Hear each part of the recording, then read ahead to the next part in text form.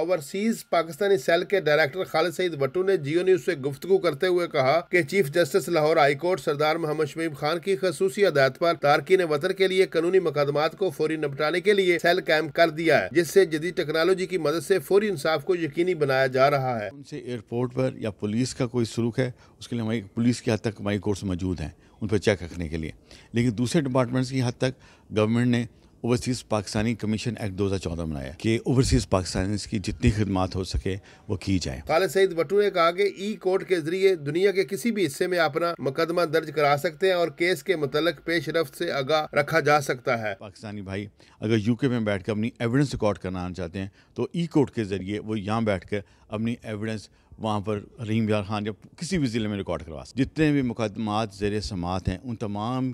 کو اس پورٹل میں ڈالا جائے گا۔ اگر کوئی شخص یو کے میں بیٹھ کر یہ دیکھنا چاہتا ہے کہ میرے مقدمے میں کیا سماعت ہوئی آج تو وہ اس میں جا کے اپنے کلک کرے گا اپنے ٹائٹل پر تو اس کو پتہ چل جائے گا کہ میرے کیس میں کیا سماعت ہے۔ ڈائریکٹر ابرسیر پاکستان نے کہا کہ ماضی میں بیرون ملک بسنے والے پاکستانیوں کے مسائل کے حل پر خاص توجہ نہیں دی گئی مگر موجودہ دور میں انصاف کے اصول کے تمام ذرائع استعمال کیے جا رہے ہیں۔ اویئرنیس کے لیے یہ یقین کریں چیف جسٹس صاحب اور ان کے تمام ڈیلیگیشن اپنے ذاتی خرچے پر